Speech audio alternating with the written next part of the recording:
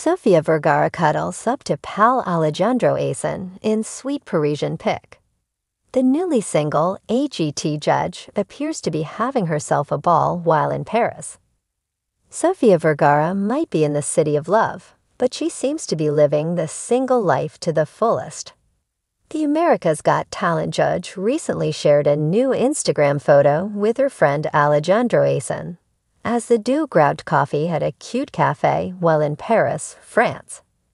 Cafecito, Paris, and at Alejandrosen doesn't get better than this. The 51-year-old wrote in the caption of her post, which showed her cuddling up to Asen as the pair smiled for the camera.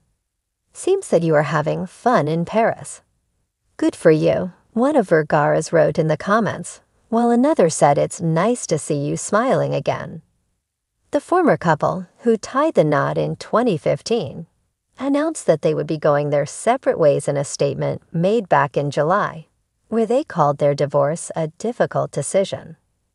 As two people that love and care for one another very much, we politely ask for respect of our privacy at this time as we navigate this new phase of our lives, they added at the time. Since then, Vergara has been doing her best to enjoy her single life and she recently gushed about all of the fun things she's done over the summer, including checking out some of this season's hottest concerts.